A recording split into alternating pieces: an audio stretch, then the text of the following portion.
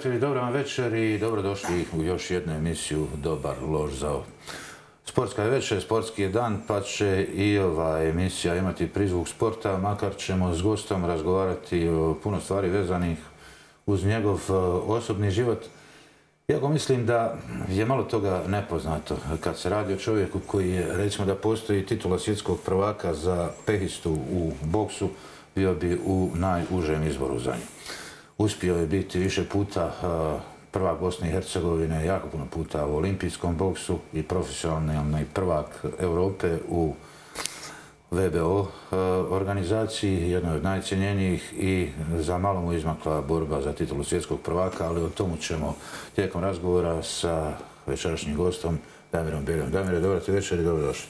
Dobro večer, pozdrav tebi Mario i naravno svim gledateljima. Evo, mi se znamo sto godina, pa da ne, malo ne, ne počnemo ovo eh, ti, vi, ajde možemo biti na ti do kraja. Rekao, eh, stvarno da postoje ova titula za pehistu nakon svega što se tebi događalo u karijeru, bio bi u jako, vrlo, vrlo uskom eh, izboru za naj. Ja vjerujem da bi čak i šampion bio tu. Jesi kad broja ozljede što ti se sve dogodilo tijekom karijere? Pa, nisam toliko naučio broje, šalim se onaj. Bilo je tog dosta, ali ja opet kažem, gledam to s nekim vedrije strane da je sve to vjerovatno tako trebalo biti. Bogu hvala na svom. Tako je na tim ozljedama. Bilo je puno uh, lomova ruku, kosti u rukama. Svega. Ozljeda, pa inače su meni onaj ruke, ja sam da tako kaže neko je građe. Nemam dovoljno jaku šasiju šta mi je Bog dao, onaj, da u istinu, evo Bogu hvala, mogu i udariti dosta snažno, mogu reći dosta, jeli, i prednjačim u svojoj kategoriji. Pa to najbolje znaju protivnici u profi karijeri 26 borbi i 26 pobjeda, od koji 21 nokautom, to sam upratio. Dobro, znate kako sad to izgleda i impresivno. Onaj, pa zar nije? U, u profesionalno, pa gledajte, imate dosta boksača koji imaju dosta a, manje pobjeda, koji su više rangirani od mene i tako dosta boksača slični meni, nažalost, kažem, taj profesionalni boks je dosta je i biznis.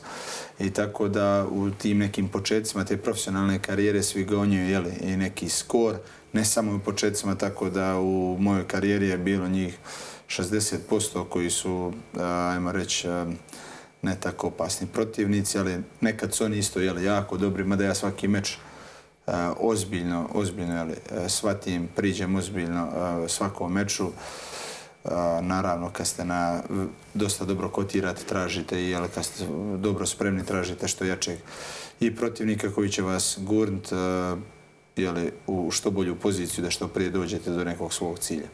Damir Beljo, privatno i nokauter u ringu meni djeluju kao dvije potpuno različite osobe. Dobro, znam kad si bio mlađi, bio si malo i nestašan. Čemo li koji reći tome? pa dobro, bio sam puno nestašan, onaj, tako da onaj, nisam ja, jeli, ovo ovo sad. Ja sam dosta radio na sebi, opet kažem, vjera intimna stvar, ali e, ja se ne stidim svog Boga i svog Isusa, da uvijek tako kažem, onaj koji su mi uz pomoć ljudi koji su dosta meni bliski, uz pomoć jednog mojeg prijatelja karizmatika kojeg sam slučajno upoznao i uz pomoć, jel, naravno, moje obitelji, moje matere koja je čitav život, ona što se kaže, kako gospa bila, gojila, ja sam to malo uvijek bio e, nestašniji, brat je uvijek bio stvarno za primjera i dan danas je, ali eto, ja sam bio dosta nestašniji, a vuklo me više, malo ovo zemaljsko, puno više i tako da onaj, Mama sigurno sam... nije, bilo sre... nije bila sretna kad se opredijelio za boks.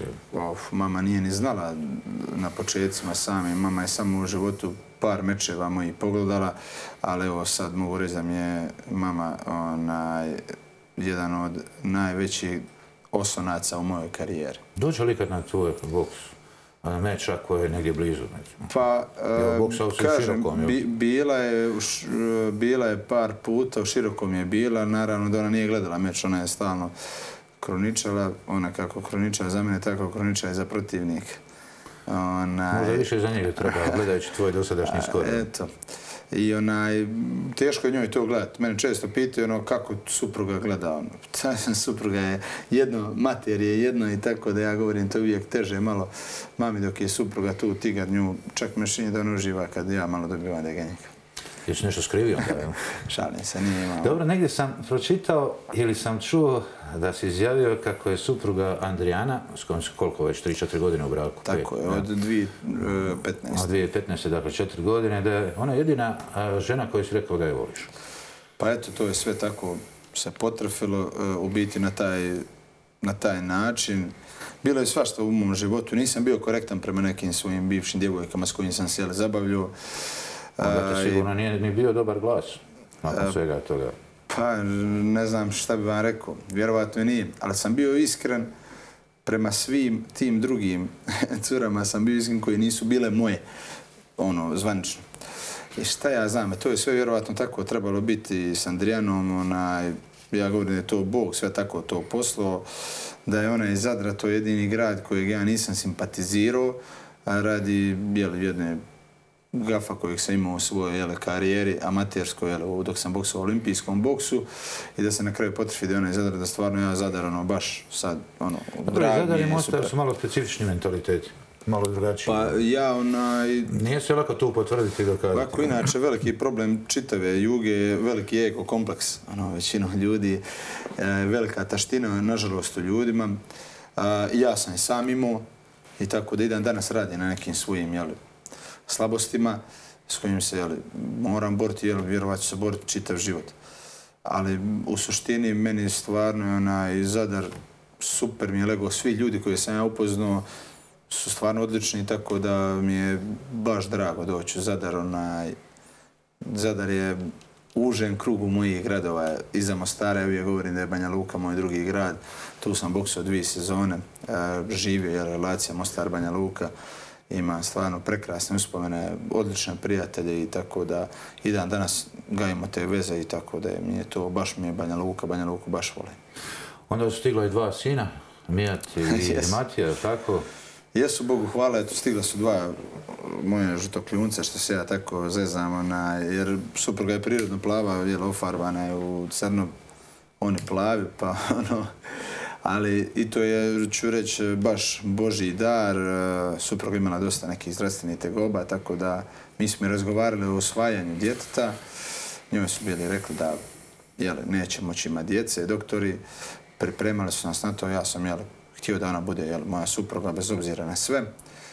Uh, živio sam sa njom čistoću od zaruka do braka, borio sam se sam sa sobom, odlučio sam tako, ja i supruga smo živjeli u istoj kući, faktički u istoj sobi, ali spavali godinu tri mjeseca kao brat i sestra, žrtvovali smo se i bio kažem, stigla je Božja nagrada i ja sam ubijeđen da je to od Boga, to je sin Mijat koji je ono, baš A, to mi je bio najsretniji dan u životu kad sam saznao da je ona trudna.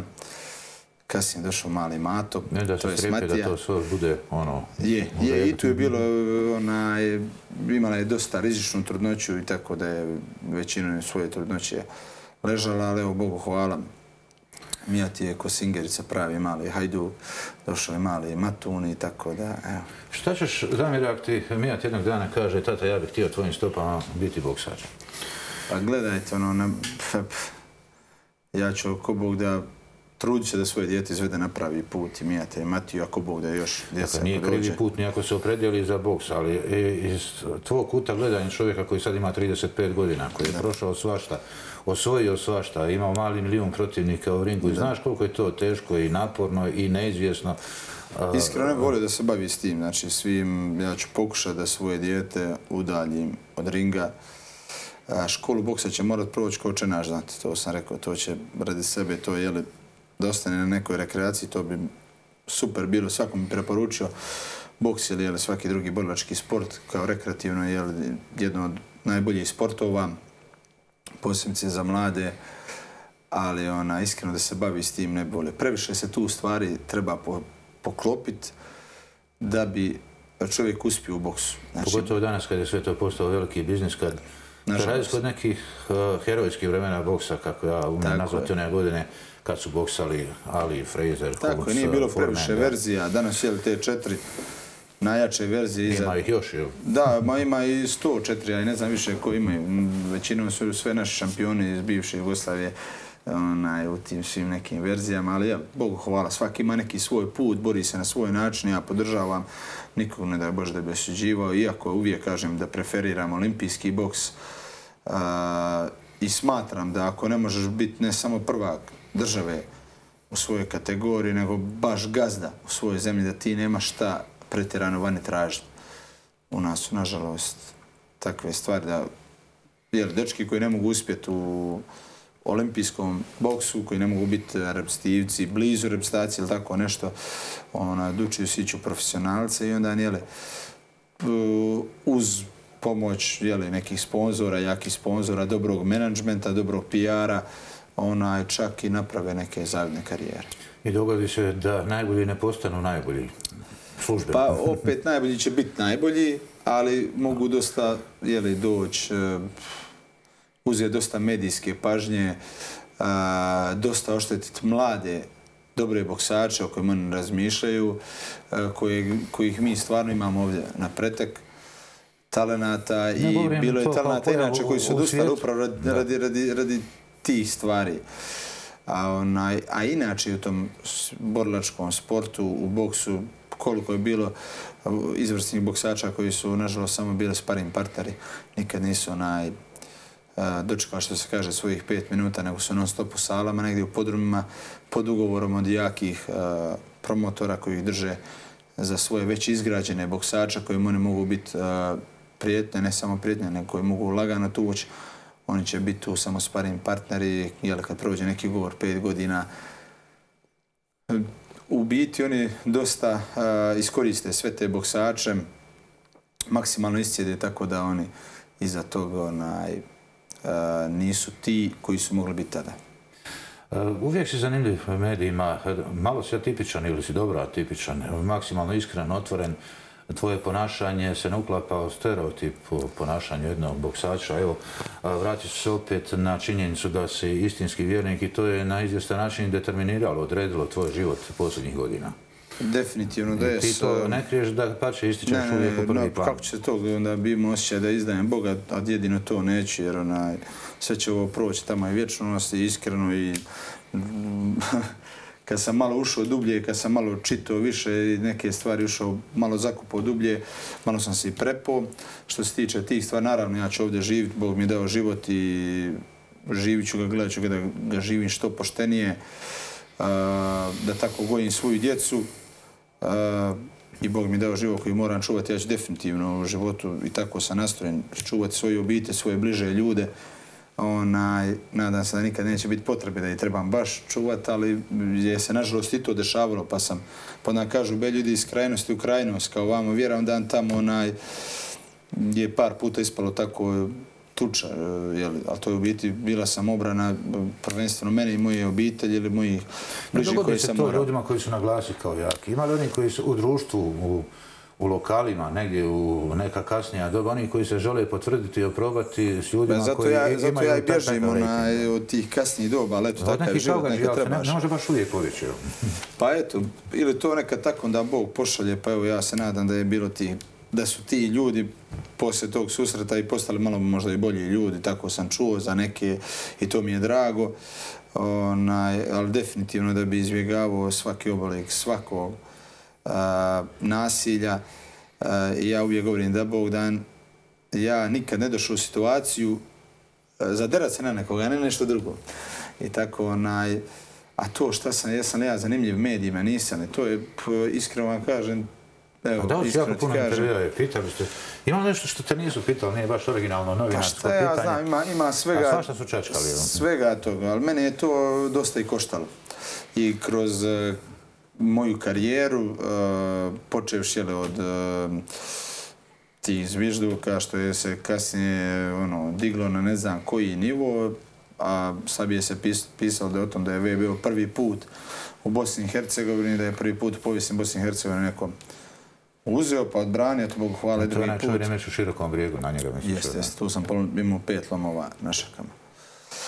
I ne bi se mogao baviti Ultima Fightom bez ikakve zaštite onda.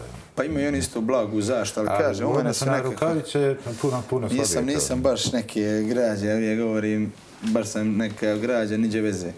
Ali onaj... Ma gledam, stvarno ta šaka je prilično mala, ali gromovito udara. evo. Pa eto, gledajte, što sam rekao, Bog se treba previše i inače u borlačkom sportu stvari potrefiti. Prvenstveno glava je ono, veliku ulogu igra. Ja opet tu govorim, opet kažem, dragom Bogu hvala i na tom stvarno mi je Bog dao veliku vjeru prvenstveno u njeg, a i samim tim veliku vjeru u sebe. Čak mi je to u jednu ruku i velik problem. Što u istinu, onaj, ne želim da zvučim bahato, ali previše vjerujem u sebe. Previše. To znaju svi moji sparim Dobro, partneri. Rezultati dosadašnji ti daju u dobra doba za pravo da vjeruješ u sebe. Pa eto, nekad Puno i ne valja, nekad i ne valja toliko treba. Ja jednostavno nikad ne razmišljam, ono, ne mogu nikako mi ne dolazi opticaj poraz. Ono, a iako treba, jele, pf, ne znam, sam sebe hoću namjerno nekako prepast, da tako kažem, da bi nešto, ali previše vjerujem u sebe, uvijek vjerujem da je... rođeni pobjednik. jel? Bilo je u olimpijskom boksu, ja sam imao jel, od 101 pobjede, 15 poraza, jedan nerešen, većinom su to bile poraze stvarno od vrhunskih boksača. Ja sjećam, e, mislim da sam bio e, na tvojoj stotoj borbi i upravo stotom meču si doživio prvi knockdown, odnosno prvi put si E, završio... s Petrom Ma- Da, Maukovićem, Prvi put si završio na podu, naravno ti si pobjedio poslije, Je. ali... Prvoj rundi. U, e, u Prvoj prvoj minuti prve runde. Jeste. Dakle, e, ima neke simbolike. 100 mečeva je bilo iza tebe bez knockdowna, Da, da. e, bez ovoga poda i tad si naletio. Tad sam baš naletio, Petar je inače poznat kao uistinu jak udarač, jel, i ja, i tako da smo se je bio prvak Srbije, tad ja sam bio prvak jel, Bosne i Hercegovine. A, super, je inače, to bio meč, evo, Bio sam, Mario bio si tu, tako da onaj, i to je, ja sam mu točno letio na njegovo najbolje oružje i ja sam bio svega svjestan, znači i dok sam padao u glavu mi je bilo, a jebote, svi će vidjeti koliko je ta balkanska glava, to mi je bilo, no ja se ustajem ko fole, ko da sam soklizao, šta sam soklizao. Ali ona, i tad mi isto kroz glavu prošlo, jesi li ti to ili nisi ti to?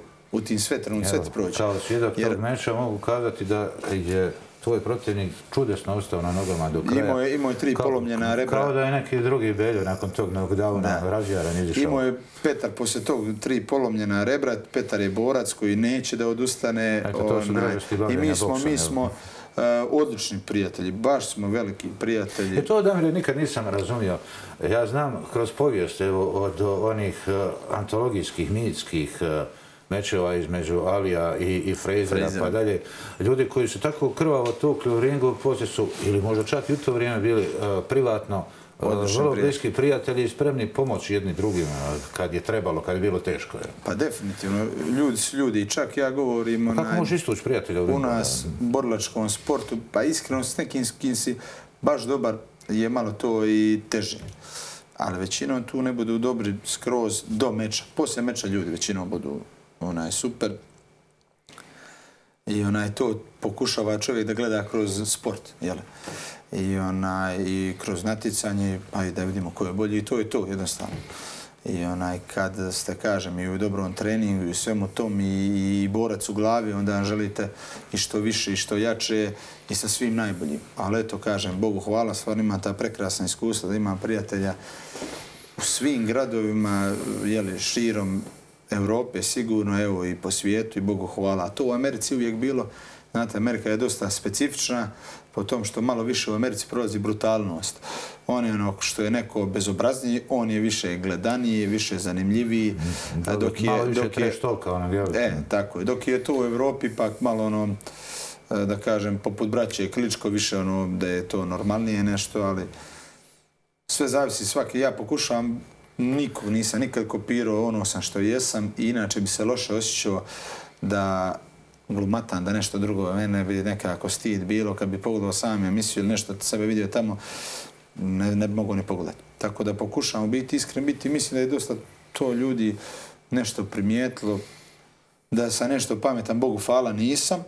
I, i smatram čak ako je čovjek previše inteligentan, da onaj teško može napraviti velik rezultat u boksu. Rijetki su koji su to bilo. Iako oni kažu ne možeš uspjeti ako si glup.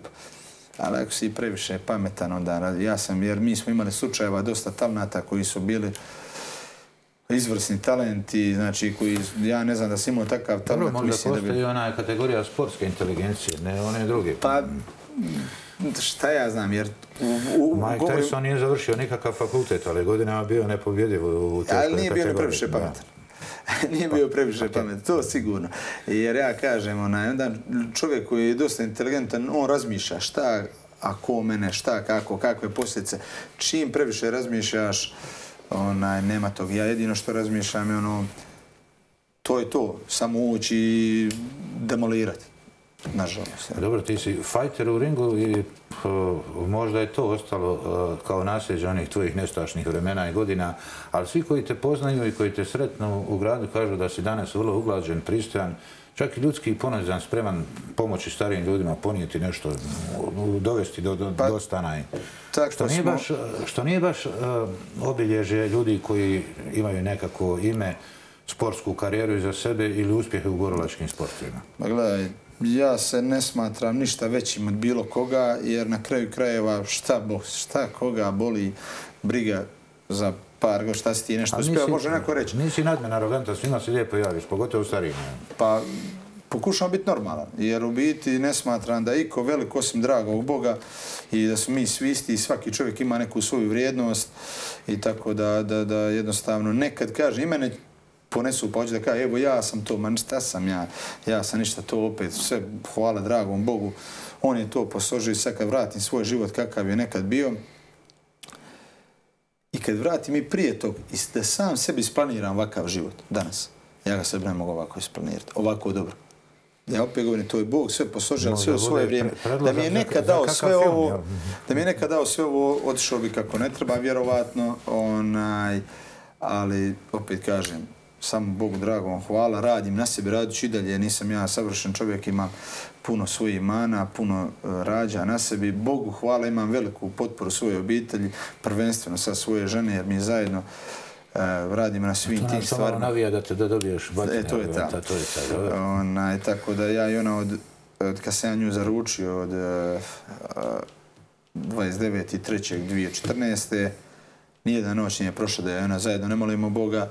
Znači, ako sam ja u Rusiji, u Njemačkoj, bilo gdje, onda nijele preko a, telefona, preko Vibera, molimo i onaj svaku noć pred spavanja. A inače, kad smo zajedno, čak i djeca, a već su malo ne, i znaju, jele, i moliti uzmemo, mada oni nemaju pojma, no, uzmemo se pa čure, ono, uzmemo se za ruke, ono, čure, ali glavno u, u, pokušava i gojiti u tom, jele, nekom normalnom duhu, jer uistinu danas e, baš nije ni sjajno vrijeme za, i mislim da je če, sretan čovjek koji izvede djecu na pravi put, Puno je, puno je izazova i loših stvari kojima su djeca izložena definitivno. definitivno, pogotovo jer naš kraj je dosta, dosta čudan, ovdje ima previše nacionalizma, šovinizma i dosta ti je neki stvari koji su jele, u zemljama koje su slabije jele, ekonomski razvijene, više je to jele, ona je došlo do izražaja, a meni je ovo najljepša zemlja na svijetu što se tiče svega, ja govorim zemlja kao zemlja, e, geografski u svakom tom nekom smislu podnevlje, evo,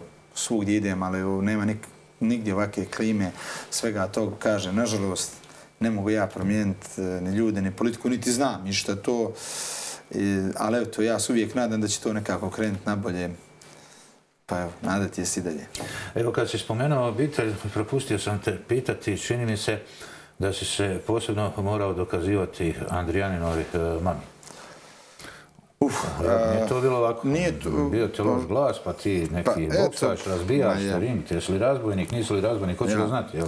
držite diskoteku, Aha, narodnu ja. muziku, uživo, to ljudi odmah vežu sa, jeli, ne baš tako, niko to ne bi za svoju čerku, ali ja u biti to nisam, kažem, s Andrijanom je sve to malo bilo onaj, čudno. Uh, ja Ja, sam dobro, niko- kako si mamu osvojio? Evo, A Andrijan pa ne, pa trebalo to je mamu. još isto čudnije, jer ja nisam ni znao da će njena mama doći kad sam došao po nju. Uh, sam mi je rekla, evo, mama i ulazi žena u auto, ja se upoznao Damir, ona Vesna. Otišli smo u hotel Bevandu, sjeli na piće, a razlog prije toga je bio što je ona, jel, stvarno iskreno je rekla, mami, ona, ja sam se zaljubila, tako i tako, on ima djevojku, ali ja zaljubila i gotovo. I mama je ono, ko šta, a, boksač i ona ima tetku u Americu, mama je nju već spremala da će ona ići tetki i on, ona je tražila samo da me kao upoznaju. I onda je mama uz nju bila da ne bi mene ona pripremila. Nije dala telefon, je bio mame sve. Ja sam došao, ono, ništa, sjeli smo i tako, poš, razgovor, ono je super jel, žena, super stvar i onda smo došli na te tema, na mene govori ja vidim u kojem ovo onaj, smjeru ide, šta kako, ja kažem tako, jel da. Ja sam to mislio samo onako malo, malo bez veze, ja imam kući nevjenčanu suprugu s kojom živim i onaj, i ona govori šta mislite šta je najpametnije, ja govori naj, njoj je najpametnije da ona nađe normalnog dečka, ja nisam nije da bio vjeran, niti ću njoj, ne vidim se u tom, a ova propala. Ali u biti sam To je bio... bilo prije prosvjetljenja, je li tako? Pa već, već sam ja ono, mislim, prije. Da što je, jer. Ali glavno, onaj, ova je propala u zemlju. Ali, i ono, ko sam rekao, ja nisam nikog lago osim ti djevojaka s kojim sam ja bio. Ba, ne znam šta je to bilo. To, to je isto vjerovatno neki ego, neko, neko, neka glupost, što se ne ponosim s tim. I tako da nisam tu bio korektan što se tiče tih stvari. I onaj, ništa. Ona je bila razočarana, već je pakovala stvari, ali je čula, jel, otac je isto došao tu, naravno on nije došao onaj, na sastanak tad, ali ona čula kako, kad je otac To je pitao mamu delegacija u ko... punom sastavu onda bilo. je. Ma, što, dobro sam živost. I onaj, kad je otac pitao mamu ko ono, ona je rekla, nisam poznala iskrenijeg dečka, ali ono, rekao je sve kako jest. I tako mi smo se u biti družili, onaj, doslovno najviše to prijateljski odnos bio. Bila mi je simpatična i baš me je na drugi način privukla nego onaj druge žene. I baš taj jedan od mojih prijatelja, karizmatik, kad sam ja dobio nju, jer njemu je Isus dao jeli, e, moć liječenja, ja sam bio sa njim par puta i to ne mogu poreći gdje se, znači, doslovno čuda desila i ja sam htio da se ona pomoli nad njom, rekao sam ima jednu prijateljicu, ne može ima djece i tako. I kad sam došao da se ona ono, upoznaju, tad je on meni rekao, onaj, meni kaže, ti kani sega i bluda i Bog će vam dati djecu. Ja mu govorim, pa vidi, malo se ti tu zezno, ja zdrav.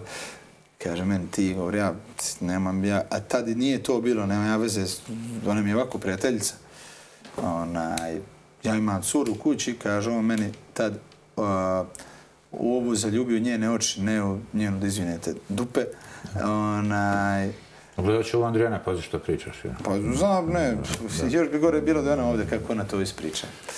I glavno ona je tad smijala i sve to i u biti, sve je to tako... tako Postao si najdraži zetom. Da.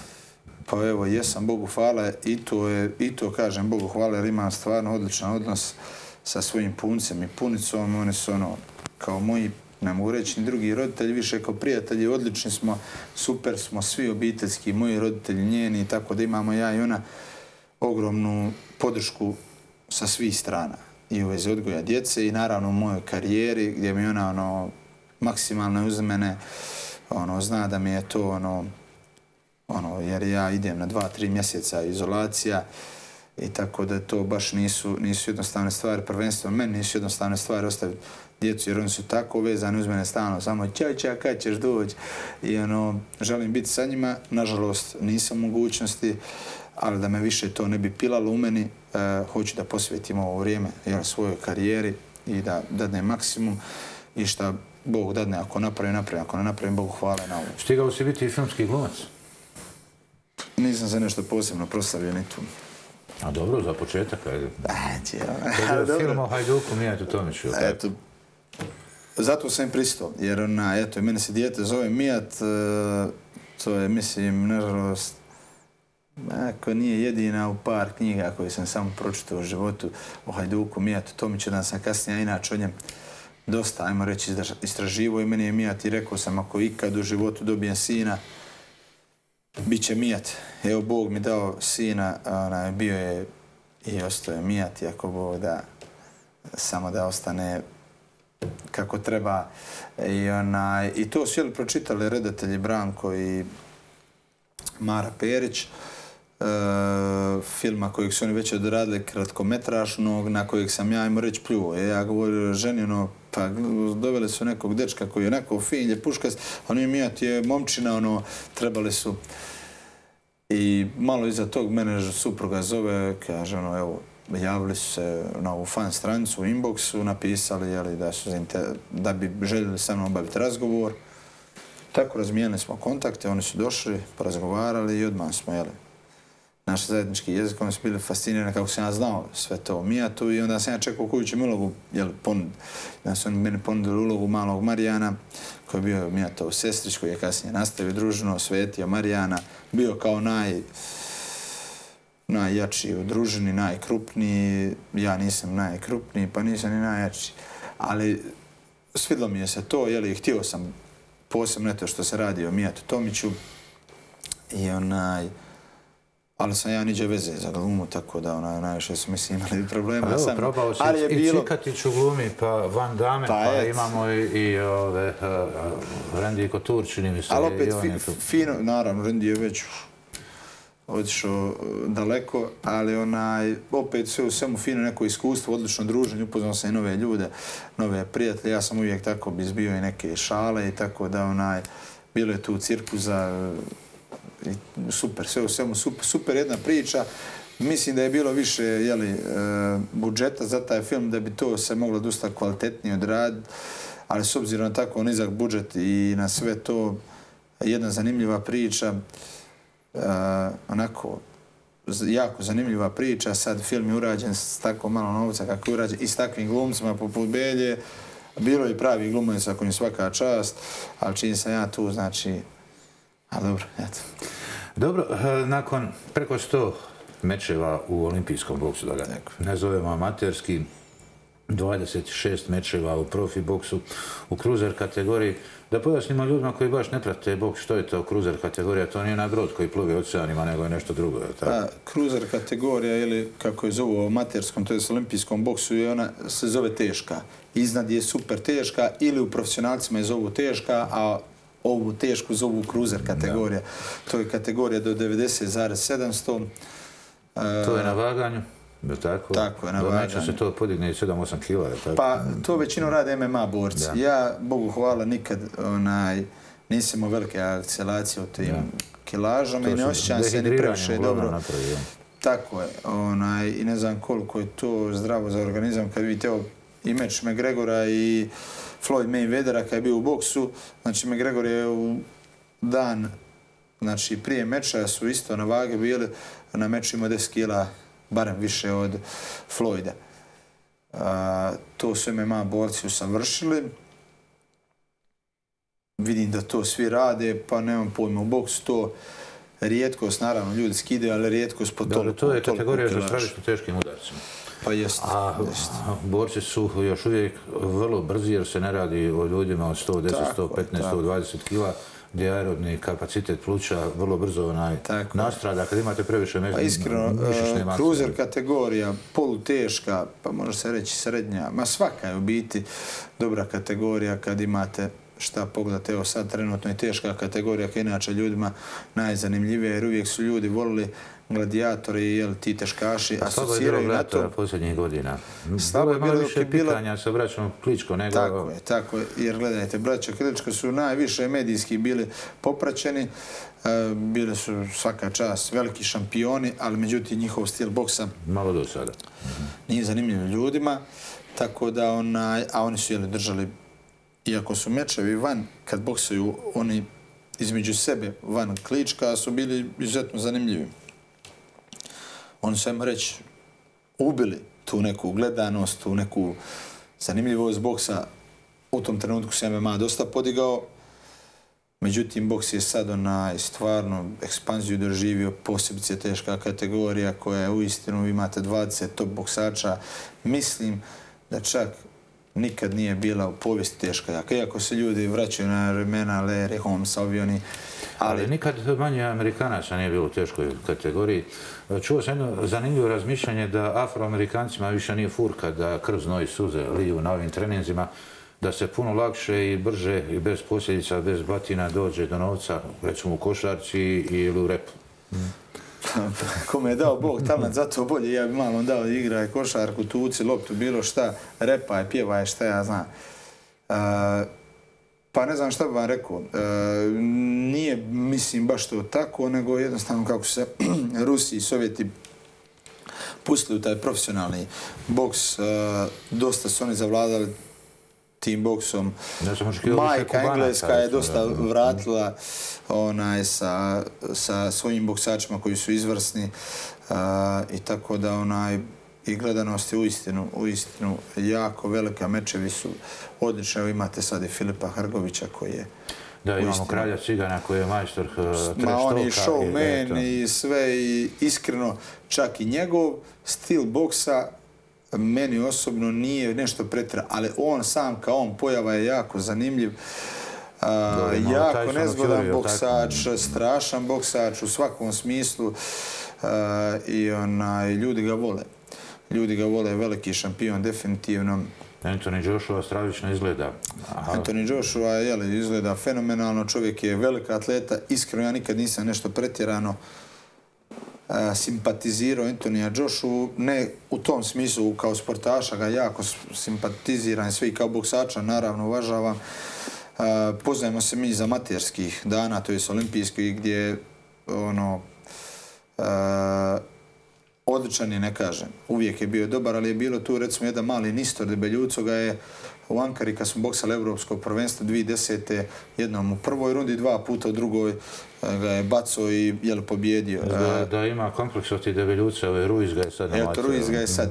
eh, Nije nešto pretjerano tvrd na udarac. Iako je kad ste dovoljno fizički spremni, onda čovjek može onaj malo više i pretrpiti taj udarac, ali jednostavno postoje ljudi koji su manje otporni na udarac bez obzira i ljudi koji su malo osobe, što se kaže, tvrđe brade, iako se ne radi to brada, brada, nijukog nije nabildana, znači kad vas pravo pogodi na mjesto, svak će leći.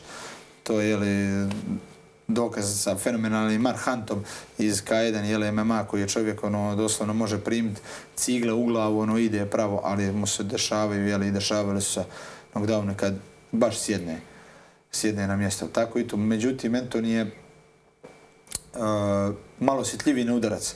I na recimo olimpijadu sad koju je pratio 2012. u, eh, u Engleskoj, niko ne priča o tom njegovom prvom meču sa Savonom Kubancom, koji je inače moja kategorija, onaj gdje ga je jednostavno eh, suci nisu dozvolili da ga završi do kraja. I na kraju je pobjedio Anthony u jedan bod su mu dali a, nad tim Kubancom koji ga je čitav meč Anthony bio u knockdownu. Uh, i Ja, to je ono što degradira je suvremeni boks, uh, ove sudačke odluke koje su postale vrlo farsične u masi mečeva. A to je to što sam rekao, nažalost, više biznis nego sport.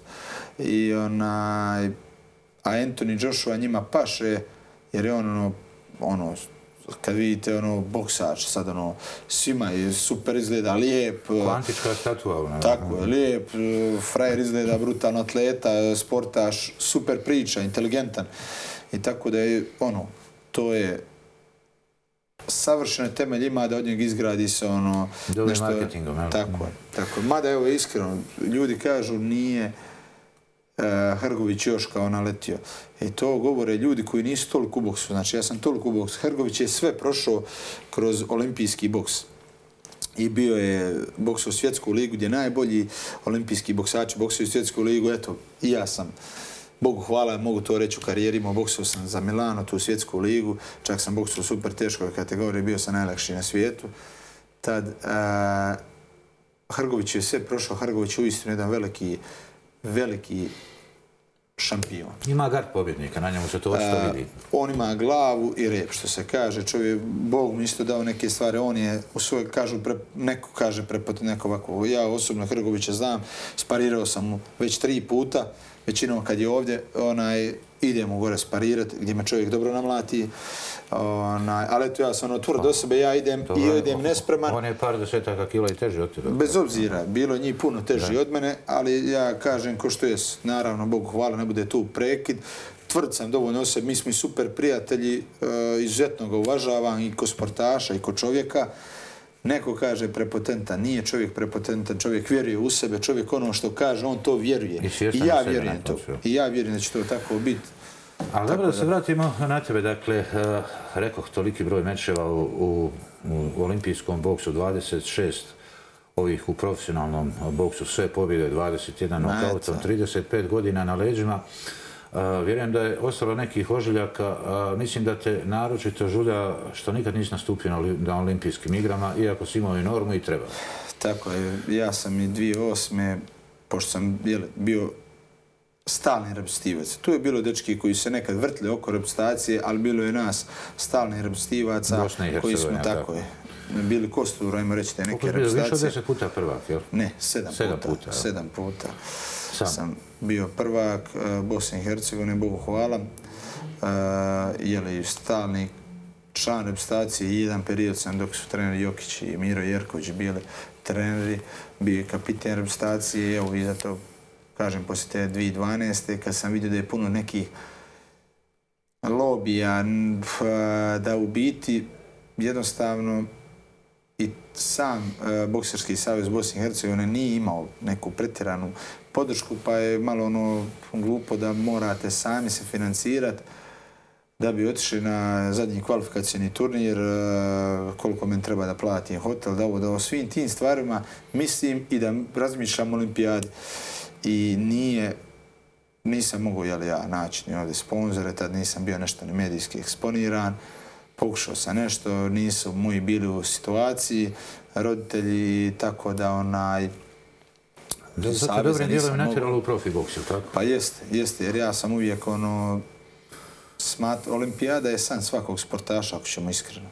Dobro, šta te priječi da evo sad probaš se plasirati na olimpijske igre? Iskreno, sad sam otišao dosta, Bogu hvala, u tom profesionalnom boksu. Ali nije zabranjeno, jel tako? A, sad nije zabranjeno, evo, desilo je se sad s ovim teškašom, on ima 6-7-0, što je uzeo e, zlato na svjetskom prvenstvu i stvarno je Uzbekistanac čudo, ubica je u teškoj kategoriji mislim da će uf, biti velika prijetnja za sve boksače kad je napravi neki skor. I to da se samo vrati na ovo, eto vidite, on ima sad 6 0 imate dosta boksača koji nemaju tako velik sad skor, evo recimo Babić iz Hrvatske koji je odličan, svi boksači od Leonarda Pjetara su istinu odlični boksači.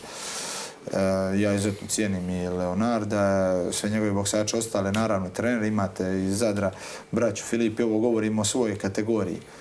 E, oni su malo došli, ono kad sam već ja zalazio, oni su tad došli i stvarno su odlični. A, ali jeli, oni nisu toliko zanimljivi nekim jer su na nekim samim svojim početcima karijere, a mogu biti dosta opasni. A, a sad što se vrati na olimpijadu, što sad ne bi, a, jer uvijek sam nekako govorio a, nemojte rezat mladim krila. Nemojte rezat mladim. Šta bi ja sad trebao biti neki kompleksaš, opet se vrati na državno prvenstvo da kao nekom nešto dokažem, da ono, evo, ja ću, imate mladog Šendru, koji je u istinu perspektivan, Mostarac, jel tako? Mostarac, zaista perspektivan, imate uh, Adima Fetahovića koji je po meni iskreno najbolji boksač regije. Najbolji u bivšoj Kruzer Jugi. ili teško? Ne, on je, on je, on je welter kategorija. Dakle, puno niže. Tako je, tako. Njegov je, jeli, stric, uh, poznati Almedin Fetahović koji je donio prvu mediteransku med- medalju za Bosnu i Hercegovinu i čitav život je ili trener ili selektor Bosne i Hercegovine, jedan izvrsan čovjek, izvrsan trener, stručnjak. Uh, I uvijek sam govorio da ne treba ti, tako tim dečkim rezat krila, jer Šendro istinu može, ako se naravno posveti, ako ima den sreće da se isto stane do njeg, do talenat je, e, sad, uh, i zna ga, jako mi je drag i dobro smo, ajmo reći, prijatelji i kolege, uh, odradimo nekad i treninge zajedničke, što ja uvijek kažem da mi svi iz Hercegovine u biti bi trebali dok kad smo tu jedan drugog da guramo i da uh, dolazimo na treninge jedan drugom. To bi bilo, jeli, uh, fino, ne treba stvarati nikakve rivalitete, jer tu mislim da je nema ni mjesta rivalitetima, niti to treba. A dobro, što sad? Evo, spomenuo sam 35 godina, a, ona propuštena prilika a, Sa Usikom. sa Usikom koji evo, a, vlada kruzer kategorijom i očito je projektiran da bude ide- buduća velika zvijezda svjetskog boksa i u teškoj kategoriji, to je Pa Aleksandar mislim da, Usik on, da će Ukrajina. on, već je sad jedan od najvećih svih vremena Ali ono za je to. nevjerojatno bilo, dakle ti si uh, imao ozlijeđenu ruku pa se liječi od toga i kad se zaliječio to naleti na tebe auto hitne pomoći. E, nije hitne pomoći, e, čovjek je koji vozi hitnu E, pomoć, da. ali sa svojim je Sa svojim autom. autom bio, a jedan izvrsan čovjek, duša čovjek, ali to, To, to je se dogodi tako mjesec dana uoči otprilike meča u Las Vegasu ili možda nešto malo više. Tri mjeseca, Tri mjeseca, u, da. u, u Los Angelesu U Los trebao meč. Mi smo potpisali ugovor i ogroman je To je honorar prilika bio. karijere bio je Pa tako. gledajte, meni ja sam uvijek govorio od početka ko prati mene, meni je bio cilj da boksam za svjetski naslov.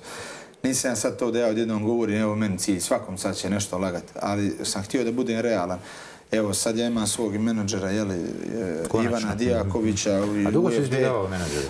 I, I sada sam, nisam ja potpisao uh, full suradnju, jer uvijek ono, ali Ivanu vjerujem, to je moj jeli, prijatelj UFD, je proglašen neko puta za nečiji kamp u Njemačkoj. Ljudi plaćaju silne novce da samo dođu na treninge tu. I tako da onaj... Uh, evo on je sam i govorio u podcastu sve Damir da se maksimalno fokusira uspio bi trener Šukur koji je neko puta proglašen za najbolje trenera Njemačkoj, on mene zove Čoban i on uvijek govori svi na stranu, Čoban na stranu. I mene stalno govori ovdje mi ostani. On ne voli uopšte kada ja idem dole. Na, na ovaj nikad održani meč sa Usikom. Ti si e, čak bio spreman i po cijenu zdravlja nastupiti, pa ste neki pametni ljudi odgovorili od toga. E, to je bilo u biti sad, e, sa uh, Egorovim kad je bilo sa Usikom, Dobre, ovaj uh, sam probao, ali u biti uh, ja sam išao na trening u štakama, kad je sve to, jer to mi ono cilj u životu bio no, da, razgovarao sam to, da boksam za svjetski nas. S tog nikad održanog meča da. s Usikom, pa si govorio da ćeš probati na sve moguće načine, bude li moguće. Evo. Tako je. I, i, jer je meni bio cilj od ulaska da boksam za svjetski naslov.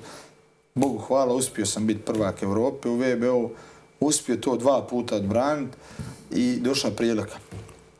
Jer e, 15 izazivača, kad je šampion, on bira jednom ili dva puta među 15, on je vjerovatno mislio da sam ja najlakši od svih protivnika, svih 15 izazivača, e, ja sam dobio priliku, naravno, prihvatili smo je, potpisali smo i udari me auto.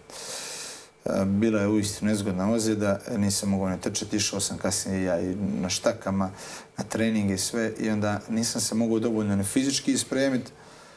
Ja znam da je Usik stvarno, mislim, fenomenalan boksač, ali ja uistinu vjerujem u sebi, iako to možda ljudima zvuči nerealno, ali ja toliko vjerujem u sebe. Dalje, tako. tako je. E, I pogotovo vjerujem u sebe kad sam spreman. Rijetko sam ja ikad bio spreman. To je nešto, ja sam ni na, mečeve izlazio sa, sa 50%, pa za dva tjedna pravih treninga. Drugči ovdje, drugči su treninzi vani, vjerujte. I, onaj, I onda me to jelo u glavi, čita svijet će gledat, da ja dođem, da dođe četa, peta ronda, jedno mjesto gdje sam rekao sam ne sebi nikad više, da ja ne mogu disat, da izgubim radi fizičke nespremnosti. Smatrao sam, ako sam trudim se biti korektan čovjek, ako se trudi nešto iskren biti i taj boks ne zaslužuje da ja u takvom stanju boksam za svjetski naslov, iako kažem ponuda bila izvrsna i to je moj cilj bio, i eto sad znači mogu reći da sam došao do svog cilja, imam uvijek taj ugovor i sad mi je ugovor tu i to ima uvijek zabilježeno ja sam i slike i sve, bilo je službeno na boks reku 17. i 12. Ti si dalje daleko najbolje rangirani bosansko-hercegovački pa boksač. Bio sam, sad sam na 52. mjestu, uh, boks rek liste, bio sam kad sam dobio ta, tu priliku 24. i to je bilo moje najbolje to rangiranje na boks reku, iako sam u VBO bio uh, četvrti, Iva mi govori da sam bio treći, ja to nisam upratio, ja sam upratio da sam bio četvrti, ima slike od toga, ali sam bio, što je jako zanimljivo, uh, jedini koji ikad bio u više verzija. Ja sam bio u VBA 13. U, IB, u, izvinite, u, u VBA sam bio 8. U IBF-u sam bio 13. Nisam bio samo među 15 u VBC-u od ove četiri najjače verzije, što je stvarno velik, velik uspjeh. I dobro, što sad? Ništa, meni treba meč dva, ja sam gore. Evo, meč je taj trebao doći kad je bilo se gorovin, kad sam tek došao na pripreme i došao iznenada... Je za gol pojas, tako? Tako je, tako je. Došao iznenadna ponuda jer je trebao Mike Perez boksat, međutim Mike Perez se ozlijedio i Rus su nas kontaktirao, to je bilo sedam dana. I stvarno, to je super ponuda bila. I gledajući njega, ja vjerujem da ga mogu tući, ali on da tu je najveću uh, ulogu odigrao. Ja sam kontaktirao svog trenera Fantu da sa njim konzultira jer sam vjerovao da je to da mi to Bog poslao priliku. Iako sam ja nespremen, ja idem da pobjedim. Ja nisam otišao tamo da uzme novac, nego idem da pobjedim. I trener moj, jel, Damir Miletić Fanta, mi je rekao, molim te, konsultiraj se sa Šukurom, Ivanom. Jel? Ti svega par tjedana bio u pripremama, je li tako? Ma, malo, dva, dva, tri tjedna sam ja bio tada u priprema i, jel, i meni trener govori, ako ti skroz odlučiš ja idem s tobom srce, ali ja da se pitam, ne. Ne, nisi dovoljno spreman. Ti prave četiri runde moraš odraditi, meč je 12 rundi pravi. Pričamo pravi. teško ćeš ono, znaš. I tako da me onda Ivan i oni su mi lagano sre, eh, ono, smir, rekao, ponuda pa će 100% doći, samo, samo gas, samo trening i pa ponuda će doći.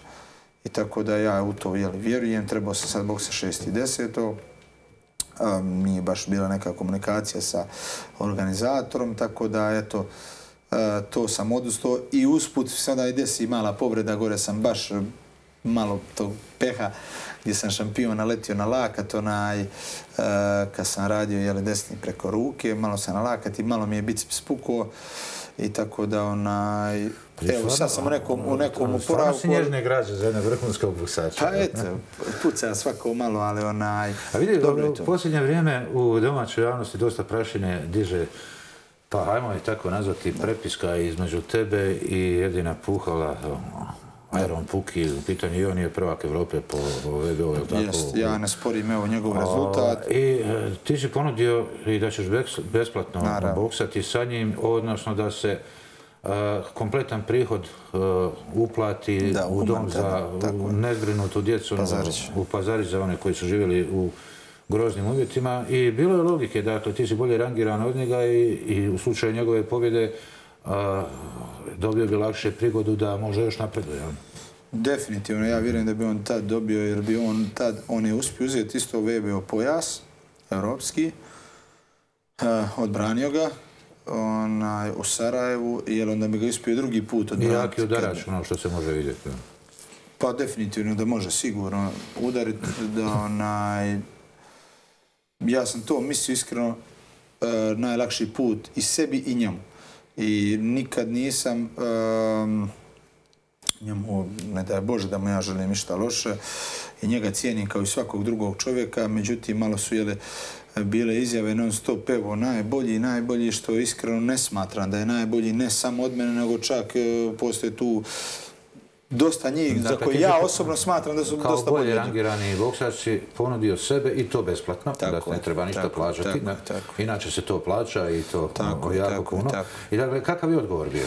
Pa evo, Marije vjerovatno se upratio sve odgovore, pa, to je klasično ja, izbjegavanje.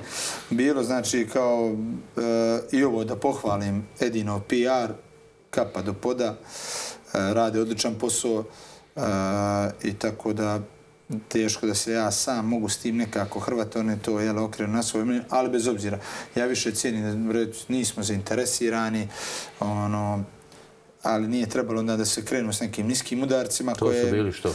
Pa eto, Damira će meč sa mnom bi ga kao lansirao u orbitu. bio sam tu gdje je on bio i puno više, bio sam više puta prva država, boksali smo ja jedin i ko amateri. Onaj, ne moram ni pitat kako je bilo. U prvoj rundi je meč završio, ali bez obzira, ono, ajde, reću, bio je dosta neiskusniji, sigurno da je napredovo. Uh,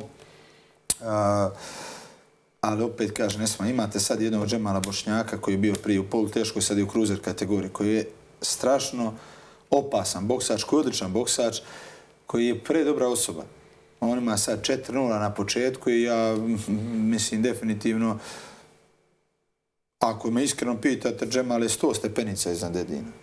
I sa mnom je bio kolega u repstaciji dugo godina, znači ja sam bio u teškoj, on je bio u polu teškoj, on i Darko Kučuk su se mijenjali u polu teškoj, Menmun Hadžić u super teškoj, to je neka okosnica repstacije, bio je Fetahović od Adema, brat, tad u, jeli, e, u, u, u welter kategoriji i ja Bošnjak i Kučuk bi se mijenjali u pol teškoj mm -hmm. i čak je tu bio korak iza njih naš Emil. Znači, i on je se tu vrtio. Dakle, Emil je postao, htio sam ga spomenuti prvak. Da, da, da, i svaka čast, evo, Emil je e, uzeo Euro.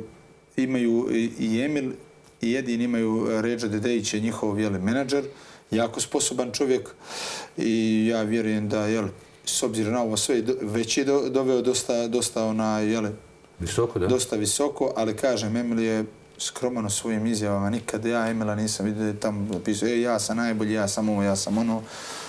Dečko boksa trenira, uspio odbraniti evropski pojas i ja se nadam da će on iskreno jako... Baš sam gledao ovu listu da je 11. na, na, u VBO-u. Mislio sam da će ga više gurd Iskreno, mislio sam da će ga malo više gurti, ali bez obzira.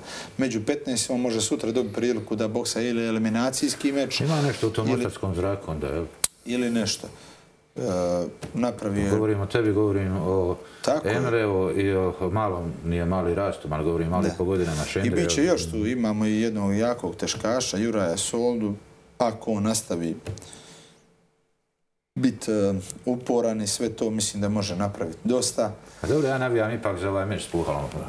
Mislim da bi pa, izazvao veliku pozornost, ali eto, čovjek neće, neće. Gledajte, ja nisam htio kasnije da isto objavljava, niti ću se više vraćati na to, jer ne želim u bilo kojem smislu ni da povrijedim njega, ni da to ide na neke prepiske. Čak smo ja i on imali korektne odnose. Uh, jako što se svega tiče, međutim, meni bi stalno slali oguzgo ljudi, evo ovo, izjave, evo ono, dobro, ljudi bacaju kost, ali meni nije dok, nisam ja to ne mislio ništa za najme, nego jednostavno dajem se najbolje jer, jer su oni i njegov menadžer i on, jeli, sa svojim sponsorom, oni su platili ovog protivnika što je bio sad, jer mora, morate neko plaćove koji će doći boks, koji je iza mene miljama. I ovaj prije tog je iza mene miljama i svaki njegov protivnik, kad uzmete i izbrojite njihove bodove, ima više od duplo, troduplo, nego što su i oni svi zajedno. I evo ti ja džabe. I zašto sam to mislio džabe? Jer će vjerovatno VBO tražiti i jače ime jakog protivnika ako misliš dobiti ili uh, meč eliminacijski, znači da pobjednik boksa za svjetski naslov ili ili, ili odmah za svjetski naslov. Nisi odustao od svjetskog naslova još? Od borbe za svjetski naslov? Nisam, nisam. Meni je cilj u Jer jedna, vijek jedna u četiri. se produžio i preko 40 godina. Ljudi, pa zavisi koliko je čovjek potrošen. Ja sam relativno, eto, bilo je ti da a, kažu u nas u boksu starijeg boksača, uglavnom mlađeg utjelo, kao jel, s vremenom čovjek ne može podnijeti ono što je mogao, ali je to fascinantno što sam ja stvarno, opet kažem, dragom Bogu hvala, strašno otporan udarce. Ja mogu podnijeti što mislim da ne može niko. Ja to tako mislim, ja mogu toliko da to ne može niko. I sparirao sam svima i svi to mi ono, tu mi svi ono svaka čast. I, i zato ja i nespreman ode na sparing, evo kažu, vidiš da je spreman, nisam bila spreman, ja onda odradim, jer ne mogu više. Ja vidim nešto, ali ne mogu odraditi. E, to je zeznuta situacija kad se desi u ringu, to neće sebi da dozvolim. Kad ono vidiš, a ne možeš, a nemaš, nemaš gas. E, to je, i zato jele, uvijek treba se jele, kvalitetno spremiti. I tako, što se tiče Edina Puhala, njemu jele, definitivno želim sve najbolje u, i u njegovoj karijeri, naravno u životu. A, ja sam ponudio se, Bogu hvala, nema od tog ništa, momku želim e, dalje sve najbolje i jeli, da dođe do svog cilja. Kažem, smatram da možda nije, ali evo, možda i jes kalibar, evo vidit ćemo. I dobro, evo, vrijeme je prevoditi emisiju. U kraju u ovim trenucima, dok razgovaram, počela je već utakmica u Splitu, kvalifikacijska između nogometnih reprezentacija Hrvatske i Mađarske. Kakav si prognozer? Igraš u kladioncu? Nisam nikad. Nikad, Bogu hvala, ne igram u kladioncu. Pa, eto, da bubnem ono što će biti. Evo, bubno. Bubno, koliko? Onaj, pa evo, 2-0, mislim da će, eto, Hrvatska. Nećemo strelce tražiti. Eto, šta mi preostaje kazati za odjev? Neobičan čovjek koji na izlasku u ring nosi tri zastave i traži da se politika odmakne od sporta. Pa možeš evo prokomentirati ove moje riječi za evo, ako, super, super su te riječi. Opet ja svima objasnim. Mene su te zastave samo koštale ali ja sam uvijek isti i ostaću do kraja svoje karijere isti. Na meni će biti zastava Bosne i Hercegovine jer je to zemlja gdje ja živim, gdje mi, je čača, gdje mi čača živi, gdje su mi djedovi živjeli, to je moja zemlja i to je poštovanje prema svojoj zemlji i ono je na meni uvijek. I sa sobom je uvijek zastava, bo, zastava Hrvata iz Bosne i Hercegovine, jer sam ja Hrvat iz Bosne i Hercegovine, jer je to i moja zemlja i zemlja sviju nas, sviju Hrvata koji žive u ovoj zemlji i naravno ramska zastava jer je moj čača iz Rame, to su moji korijeni, moja djedovina i Ramu volim i imam najbolje navijače na svijetu i hvala mojim ramcima što me toliko prate i ono, baš su mi snaga. E, to je, to je moja priča Hercegovina, u srcu i uvijek pjesma s kojom izlazi Muring. Mislim da sam s tim sve rekao. Uh, volim sve, jelen, ljude, svi su mi dobrodošli, ne, niko, mislim, onaj, nikad ne bi rangirao jer meni ne smetaju ni bošnjaci, ni srbi, ni hrvati, ni, ni marsovci i tako, jer najbolje da ja ikom smetam. Čuli ste završne riječi čovjeka koji će i dalje biti zanimljiv eh, za novinare, a ja sam siguran da ovo nije posljednji intervju koji radim sa Damirom Beljom i želim čvrsto vjerovati i podijeliti njegov optimizam da će doći do nove borbe, do nove prilike za borbu za titulu svjetskog prvaka. Damire, hvala ti lijepa. Puno Mario, sreće. hvala i tebi. Evo, onaj, još jednom pozdrav svim gledateljima. Evo, nadam se da će pobijeti reprezentacije Hrvatske, naravno i Bosne i tako. To je u nedjelju, jeste? Da. Dobro, hvala i vama, cijenjeni gledatelji. Vidimo se za tjedan dana. Živjeli lako noć, svako dobro.